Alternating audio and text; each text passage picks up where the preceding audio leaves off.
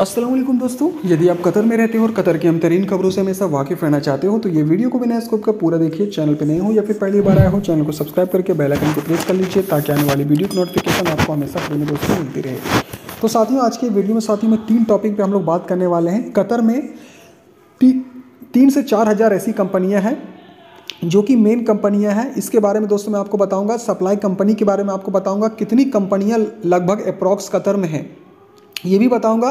Qatar में new project के बारे में बताऊँगा और कतर का वर्क वीज़ा भी स्टार्ट है या चालू है, इसके बारे में आपको बताऊँगा। तो वीडियो काफ़ी ज़्यादा इंपॉर्टेंट है। वीडियो मेरे साथ बने रहिए ताकि आपको पूरी मुकम्मल जानकारी दोस्तों जो है वो आपको मिल सके। तो साथियों, सबसे पहले हम लोग बात कर लेते हैं कतर में कंपनियों के बारे में। तो भाइयों, जैसा कि आप लोगों को सभी को पता होगा कि कतर में दो तरह की कंपनी होती है।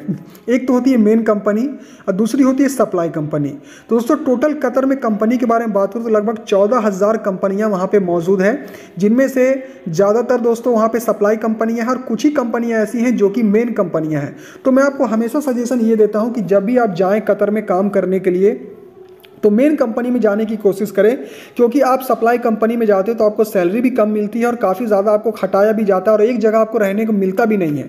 इसलिए मैं आपको हमेशा से सजेशन देता हूँ कि जब भी आप लोग जाने की कोशिश करें तो आप जब भी जाएँ तो जाए मेन कंपनी में ही जाए सप्लाई कंपनी में जाए, ना जाए। तो टोटल वहाँ पर चौदह हज़ार वहाँ पर कंपनियाँ हैं, जिनमें से सप्लाई कंपनी लगभग दस हज़ार से भी ज़्यादा है। और यदि मेन कंपनी के बारे में दोस्तों बात करूँ तो लगभग चार हज़ार ही वहाँ पर मेन कंपनियाँ हैं। तो जो भी आप लोग दोस्तों, मैं यदि सभी का लिस्ट में बताने लगूँ तो दोस्तों, वीडियो जो है वो काफ़ी ज़्यादा लंबी हो जाएगी। तो मैं चौदह कंपनियों का नाम तो मैं नहीं बता सकता हूँ। यदि फिर भी आप चेक करना चाहते हो तो गूगल पे दोस्तों जाकर आप चेक कर सकते हो। सभी कंपनी का लिस्ट उसमें आ जाएगा।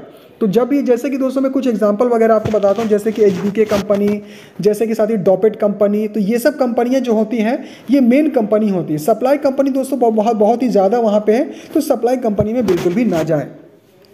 दूसरे दोस्तों, बात कर लेते हैं हम लोग टॉपिक के बारे में वर्क वीज़ा के बारे में। तो दोस्तों, बहुत सारे भाई लोग मुझे कमेंट करके हमेशा ये पूछते हैं कि भाई, ये बताइए कि कतर का वर्क वीज़ा भी बंद हो चुका है?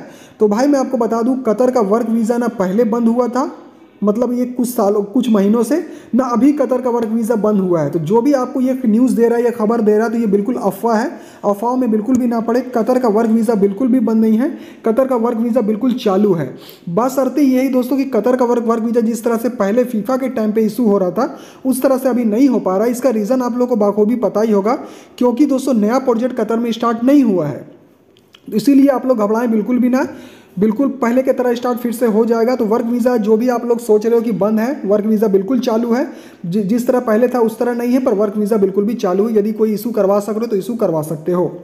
दूसरा दोस्तों टॉपिक पर हम लोग बात कर लेते हैं न्यू प्रोजेक्ट के बारे में। तो भाई ये सवाल जो है बहुत सारे भाई लोग मुझे कमेंट करके हमेशा पूछते हैं क्योंकि वहाँ पे न्यू कंस्ट्रक्शन जब तक स्टार्ट नहीं होगा तब तक वहाँ पे नया वीज़ा इशू नहीं होगा ज़्यादा से ज़्यादा। और दूसरी चीज़ वहाँ पे लोगों को ओटी नहीं मिल पा रही है। तो दोस्तों, मैं आपको बता दूँ new new project new construction का काम के बारे में ऑफिशियल अभी कतर के हुकूमत के तरफ़ से या मिनिस्ट्री के तरफ़ से कोई भी अनाउंसमेंट नहीं की गई है। ये दोस्तों, आप लिख के रख लीजिए, जो भी आपको ये बता रहा है, कोई ऑफिशियल न्यूज़ दे रहा तो ये बिल्कुल गलत बात है। कोई भी हुकूमत की तरफ़ से अभी ऑफिशियल ये खबर नहीं है। उम्मीद है रमज़ान के बाद स्टार्ट हो सकता है, पर इसकी भी मैं गारंटी नहीं दे रहा हूँ। रमज़ान के बाद संभावना है कि हो सकता है, नया वीज़ा स्टार्ट हो जाए, पर दोस्तों, मैं गारंटी इसकी बिल्कुल भी नहीं दे रहा हूँ। अगर स्टार्ट होता है तो मैं आप तक शेयर ज़रूर करूँगा और स्टार्ट नहीं होता तो आपको बाखूबी पता पहले से चल ही जाएगा। दोस्तों, अगली जो अपडेट दोस्तों हमारे साथियों इंडिया से आ रही बहुत ही बड़ी खबर है। साथियों, यदि आप इंडिया के होंगे तो आपको जान के काफ़ी ज़्यादा गर्व महसूस होगा, काफ़ी ज़्यादा खुशी होगी।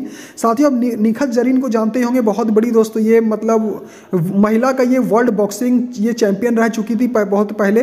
दोस्तों, इस बार उन्होंने फिर से वर्ल्ड बॉक्सिंग चैंपियनशिप का खिताब दोस्तों जीता और इंडिया के लिए गोल्ड मेडल उन्होंने हासिल किया। तो दोस्तों ये बहुत ही गर्व की बात है और उनको लगभग एक लाख डॉलर का इनाम भी उनको दिया गया, जो कि लगभग बिरासी से तिरासी लाख रुपए हो जाते हैं। तो ये कुछ खबरें थी, कुछ अपडेट्स थी जो कि कतर से आ रही थी। मैंने अब तक शेयर किया, उम्मीद करता हूँ वीडियो आपको अच्छी लगी हो। मिलते दोस्तों नेक्स्ट वीडियो पर जहिंद हिंद, अल्लाह हाफिज़ एंड टेक केयर।